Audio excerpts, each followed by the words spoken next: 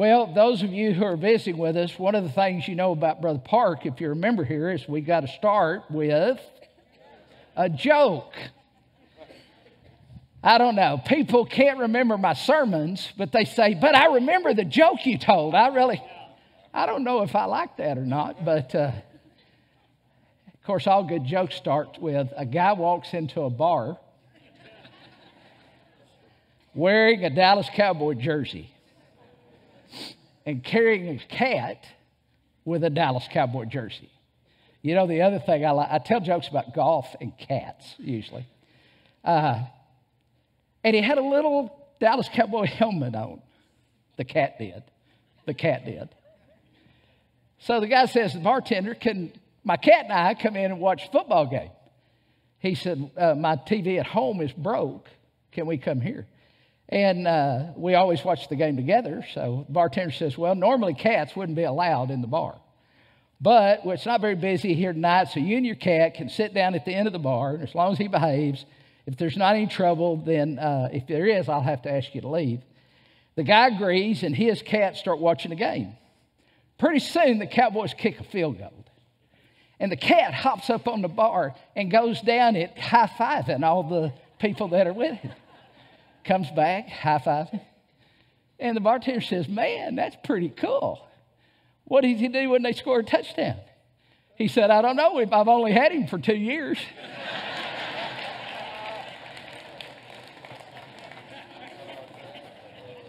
and trust me, that has nothing to do with the sermon whatsoever. I don't think. No, it doesn't. But uh, I ask you to stand in the honor of the reading of God's Word. We're going to read John chapter 4. I'm going to read 10 verses. But before I read that, I want to remind you of a couple of verses in chapter 20 of the Gospel of John, because John tells us this is why I have written this down. Sounds pretty important. Verse 30 says, And many other signs truly did Jesus in the presence of his disciples, which are not written in this book. Verse 31 But these are written that you might believe that Jesus is the Christ, the Son of God, and that believing you might have life through his name. So when we read this really neat story in John chapter 4, understand that was John's purpose by direction of the Holy Spirit to give us this story.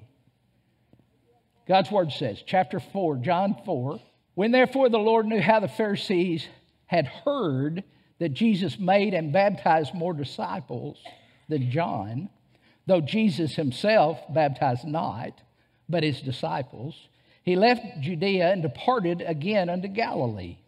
And he must and he must needs go through Samaria. Isn't that a great statement? Then cometh to the city of Samaria, which is called Sychar near to the parcel of ground that Jacob gave to his son Joseph. Now, Jacob's well was there. Jesus, therefore, being wearied with his journey, sat thus on the well, and it was about the sixth hour, about twelve noon. And there cometh a woman of Samaria to draw water. And Jesus saith unto her, Give me to drink. Give me a drink. For his disciples were gone away into the city to buy meat. Then saith the woman of Samaria unto him, How is it that thou, being a Jew, askest drink of me, which am a woman of Samaria? For the Jews have no dealings with the Samaritans. And Jesus answered and said unto her, If thou knewest the gift of God, and who it is that saith to thee, Give me to drink, thou wouldst have asked of him, and he would have given thee living water. Let's pray. Dear Heavenly Father, Lord, I thank you for your presence today. I pray for this one who uh, has fallen ill. I pray for healing. I pray for our team. Lord, just give them peace and safety and comfort. And Lord, I thank you that you have drawn us here today, that you have spoken to us through your word. You have prepared our hearts through song. Lord, you are truly truly an amazing God. Lord, like that last song said, is there anybody here that can testify of you bringing us through the fire, of you bringing us through the sorrow. Oh my. I think every hand in here went up. Lord, thank you for being that God. Thank you for longing to have a relationship with us. We praise you. In Jesus' name I pray. Amen. You may be seated. What a wonderful story from the pages of Scripture. Amen. Uh, a story that each and every one of us can relate to. Relate in a variety of ways because you see, it kind of depends where you stand with this Christ on how this story will hit you, how it will speak to you, how it spoke to me. Uh, there's not a lot of characters in the story. Of course, number one, we got Jesus. It's a good place to start every time. uh, that's where this story begins, is with him having a need to go to Samaria. This woman's story begins with Jesus. Do you realize your story begins with Jesus? Whether you know it or not. She didn't know it, but that's where truly life begins. Second, we have the Samaritan woman at the well. Apparently, life's been hard. She's going through life. Life can get hard pretty quick, can't it? It can change that quick. Everything going smooth. Somebody asked how our family's doing. I said, Well, at this moment, we're doing great. But it's subject to change. Uh, third, we have the disciples. Now, they're not much of the story. Uh, I do find it unusual, though, that Jesus had to get them out of the way so that he could deal with this woman at well. Finally, we have the women, or at least the townspeople of Sychar. They're kind of a, on the fringe a little bit, but they come on strong at the end. You see, it, it depends where you are, though. Are you lost? If you died tonight, would you know without a doubt, based on your faith in Christ, that you would go to heaven? I sure hope so. I hope you know that. I hope you know that's, you know, I tell our new members in orientation that if the day that I stand before Holy God, and if He says, Park, why should I let you into my heaven? If I say I'm a member of Flint Baptist Church, we're going to hear a, eh, that's going to be the wrong answer. Hey, I'm kind of like Brother Sam, adding those sound effects. I just now noticed that. I've been trying to figure out how to get that into sermons because he'll go pow, whoa, zoom, and I don't ever do that. So eh, you probably won't hear a buzzer. I don't know. But the reality is, the only way any of us will ever enter the kingdom of heaven is by the precious blood of Jesus. And He has covered my sin, and, and He is my personal Lord and Savior. That's the only way. But if you're here and you're saved, in other words, you don't know just about Jesus, you know him personally and in an intimate way, that he is your Lord and your Savior. We'll, we'll see this in a different view. You know, there's different things that cause or bring about or birth a, a sermon in preachers' lives. This is a passage I have not been able to get away from. I, I, I preached it in Guatemala through an interpreter. I preached it in another foreign country, Minnesota.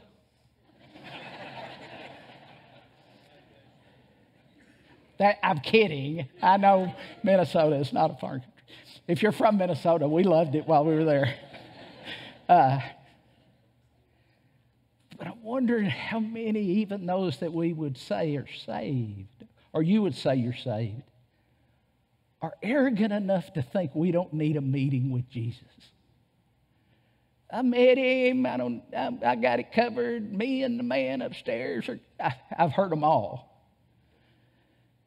But this is a unique story. First, we see the setting, it is crystal clear. He makes it very precise the location, the time, the events that are happening. You see, he's in uh, uh, Judea and he's heading to Galilee, uh, Galilee, a region in northern Israel, uh, Judah in southern Israel, in a small little region in the middle called Samaria.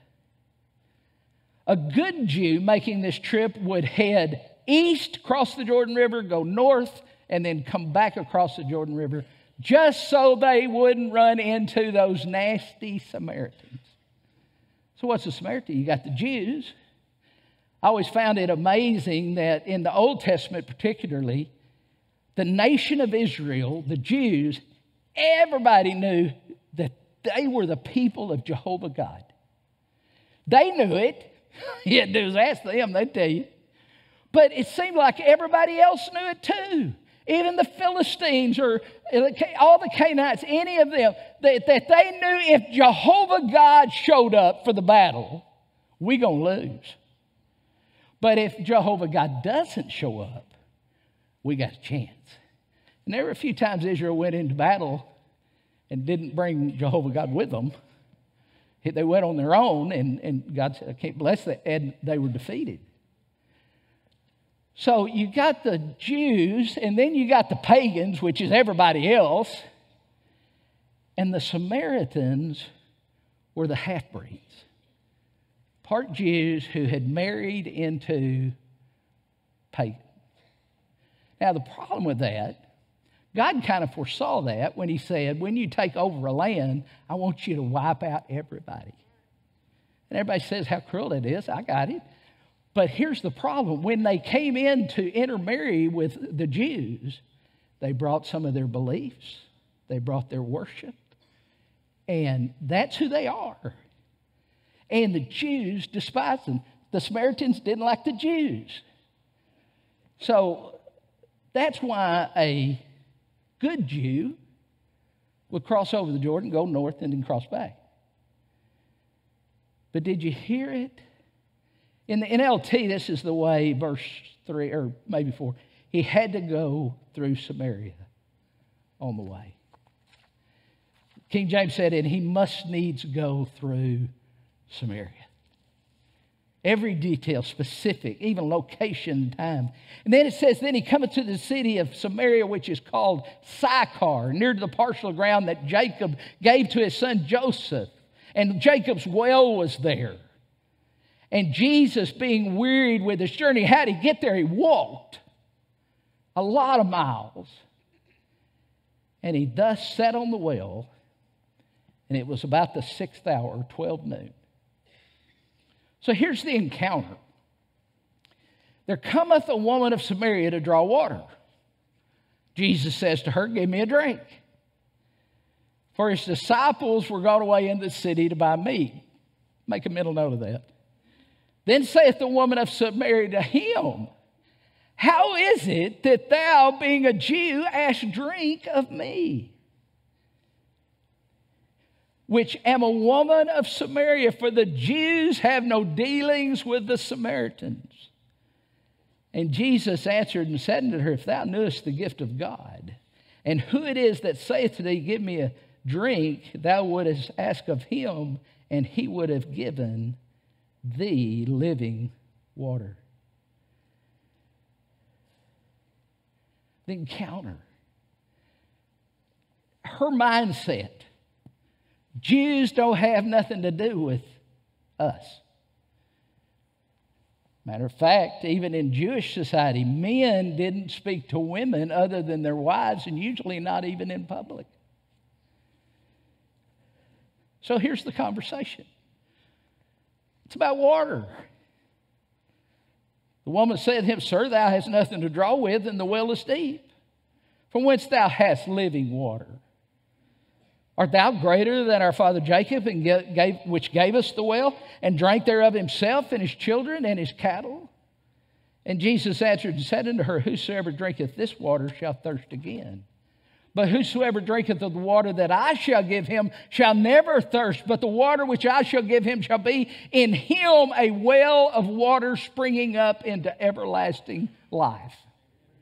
See, her position and her understanding is we're talking about water. Everybody knows about water. Everybody got to have water. You can't go long without water. What, three days? Uh, no, three, three minutes without air, three days without water. You, you, eh, we, we got it. But she's talking about the physical water. Jesus is talking about spiritual water. Huh.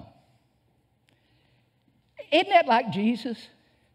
Taking a subject that we all know about, a very common subject, a common need that she knows all too well because she comes out here every single day in the heat of the day to draw water for her family, for her and her family. Every single day, all alone, because the other women of the city didn't want her. We're going to learn a little more about her. Didn't want her type to come with them. And then I thought, well, maybe she didn't want to go. Maybe she understood who she was and she didn't want to go with them. Then we have the confrontation. Verse 16, Jesus said to her, Go call your husband and come here. And the woman said, I have no husband.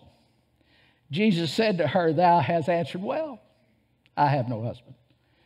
For thou hast had five husbands, and he whom thou now hast is not thy husband. In that sayest thou truly. The confrontation, and some people would read that and go, Well, that wasn't very nice. How dare Jesus just, well, let me ask you this. She's thinking physical water, physical needs. I come every day through my stinking life that I've got to come for my family. And Jesus is seeing beyond that and saying, You got a bigger need than just physical water. You've got a need for something spiritual, spiritual water that literally will flow out of your belly like springs of living water. So it would seem to me it's not just nicer of Jesus, it's out of love. He tells her the truth. You've got a bigger need than just this water. There's something bigger that we need to deal with. You're talking about physical water, I'm talking about spiritual, a spiritual need that you have. So it, it's not unloving to confront. So, verse 19, she says, I perceive that thou art a prophet. So he has taken that common and transferred it to the spirit, from the physical to the spiritual. That's always the challenge, isn't it, when you share your faith? It's taking it from the physical to the spiritual. How do I get to the spiritual while we're discussing bass boats or golf or something else? The conversion happens. The woman says, I perceive that you are a prophet. Our fathers worshiped in this mountain, and you say that in Jerusalem is the place where men ought to worship. Jesus said to her, Woman, believe me, the hour cometh when shall neither in this mountain nor Jerusalem worship the Father. We worship, ye worship, you know not what. We know what we worship, for salvation is of the Jews. But the hour cometh, and now is, when the true worshipers shall worship the Father in spirit and in truth. For the Father seeketh such to worship him. God is a spirit, and they that worship him must worship him in spirit and in truth. And the woman saith to him, I know that the Messiah cometh, which is called Christ. And when he is come, he will tell us all things. And Jesus saith to her, I that speaketh unto thee am he. So we went from the physical to the spiritual. And he met her right where she was. She said, We worship here in this mountain. Y'all say we got to worship in Jerusalem. And Jesus said, There's coming a day that wherever you are, you can worship God in spirit in truth. Because it's not a physical thing, it's a spiritual thing. It's not where you are, it's who you are and what you're worshiping. Then we see the testimony. Verse 27. And upon this came his disciples. they show back up. And marveled that he talked with a woman. Yet no man saith, What seekest thou? Why are you talking to her? Or why talkest thou with her? And the woman left her water pot, went her way into the city, and saith to the men, Come see a man which told me all things I ever did. Is not this the Christ? And it says, They went out of the city and came to him. Now, down in verse 20, 39, it says, And many of the Samaritans of that city believed on him for the saying of the woman which testified. He told me all that I ever did. And so the Samaritans were coming to him. They besought him that he would tarry with them, and he abode there two days. And many more believed because of his own word, and said to the woman, Now we believe not because of the saying, for we have heard him ourselves, and know that this indeed is the Christ, the Savior of the world. Isn't that a neat story? That is a wonderful story that many of us we can relate to in so many different levels and places. So we're going to spend the rest of my time on the application. Number one, Jesus is willing to work to get to you. Understand something. That is what you would call a divine appointment. You see, some, some, we have come for all different kind of reasons today. Some of you here because your wife made you come. You wouldn't dare say amen to that. I know. Some of you are here, I can relate. Back years ago, we've been married 47 years, but 50 years ago, I started coming to church because Vicki didn't date boys who didn't go to church. So if I wanted to date her, I had to go to church. Well, fine, I'll go. Such a sweet spirit about me. There for all the wrong reasons. Every wrong reason in the book. But that's there. And I had a divine appointment with Jesus that I did not even know was coming because He made it. He made the divine appointment. Folks, don't think for one second you are here by chance. Don't think for one second it's by chance I'm preaching John chapter 4 about the Samaritan woman at the well. God had you here for a purpose. And He would walk, He would weary, become weary just to keep a meeting with her. And He will do the same for you. I don't think we're here by chance. We, we might not have known it was coming, but we're here because of a divine appointment. Secondly, Jesus is willing to break down every barrier this world wants to put up between you and Him. Every barrier, whether it's racial, whether it's gender, that's, we see both of those in this. She's a Samaritan. You don't talk to Samaritans. Why do you think they had to get the guys out of the way? The disciples, he couldn't have had this interchange, this encounter with this woman with the disciples there. He had to send them to town to buy meat so that he could talk with this Samaritan woman. Why? Because he was willing to break down a barrier. It didn't matter that Jews didn't deal with Samaritans, he dealt with individuals. He had this divine appointment with a divine uh, encounter, and he was willing to break down every barrier this world wants to put up to keep you from him. No matter how much sin you have in your life, no matter what bad decisions you have made, Some of them were brought on, some of them were brought by others into your life. No matter who has rejected you, no matter who has hurt your feelings, no matter who told you, get out and don't come back, we don't like your kind in our midst. Jesus is willing to break down every barrier that you maybe have put up or that others have put up. I want you to know something. Jesus loves your kind.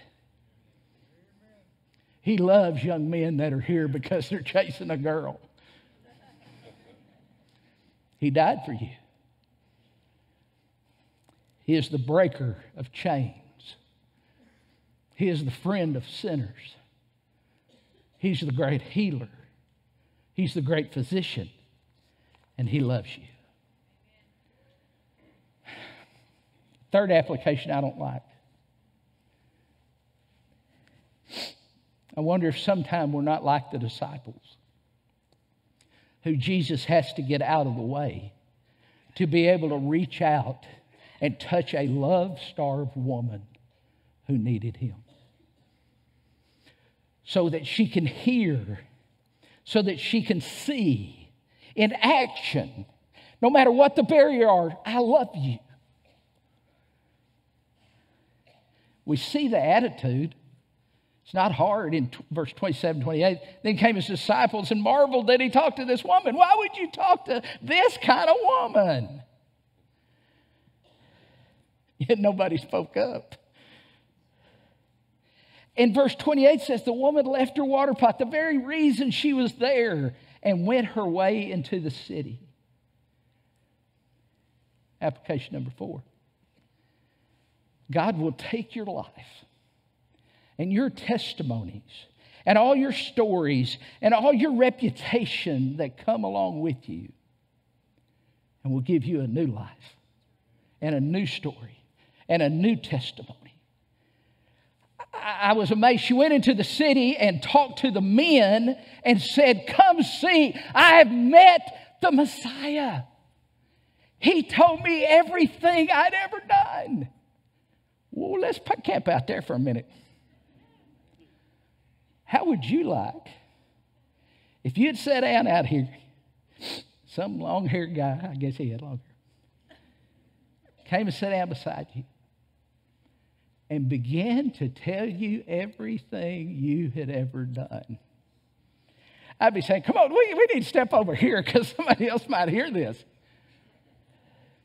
That would, what a confrontation. But it was a confrontation of love. And he said, Come see.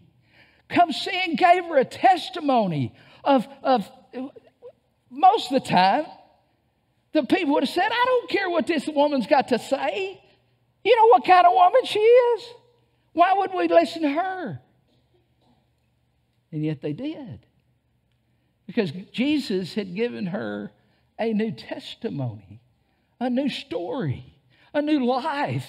And it says on down in 39, many of the Samaritans in that city believed on him for the saying of the woman which testified. He told me all that I ever did. And when the Samaritans were come, they besought him that he would stay with them, tarry with them, and he abode there two days. And many more believed because of his own word. From notorious sinner to soul winner. To soul winner. So, where are you in the story? Where do you fit? Are you the woman at the well? The Samaritan? Struggling? Life's been hard. Sometimes you brought it on yourself, sometimes others brought it. But you're hurt. You're rejected. Sometimes you're ready to give up. I know you're ready to find something new. It's not something, it's someone. And his name is Jesus. There is a Savior that loves you. And he made a special trip to this place today to meet with you. Are you like the disciples? Oh, you know Jesus, but you're hindering people to come to him. Are you like the original townspeople? You have made your judgment on someone, and nothing they can do or say will ever change your opinion. I can remember hearing someone say that a leopard doesn't change its spots.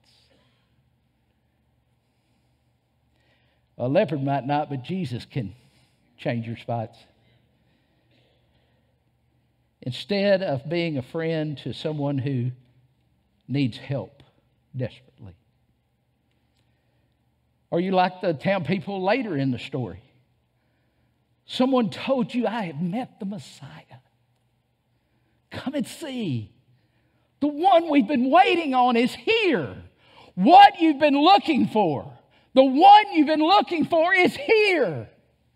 And you can meet him today in this place. I pray